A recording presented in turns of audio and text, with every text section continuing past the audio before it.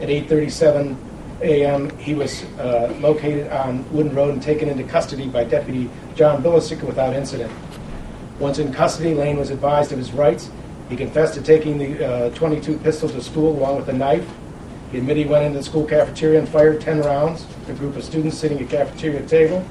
That he did not stu- know the students, but he chose them randomly.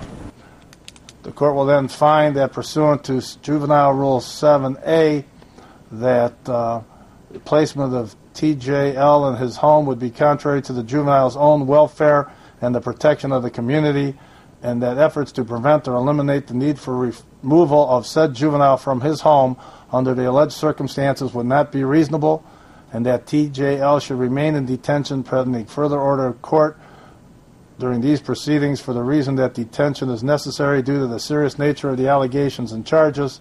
Detention is necessary and required to protect the person or property of others in the community from immediate or threatened physical or emotional harm, and that detention is required to protect the juvenile from himself from immediate or potential threatened physical or emotional harm.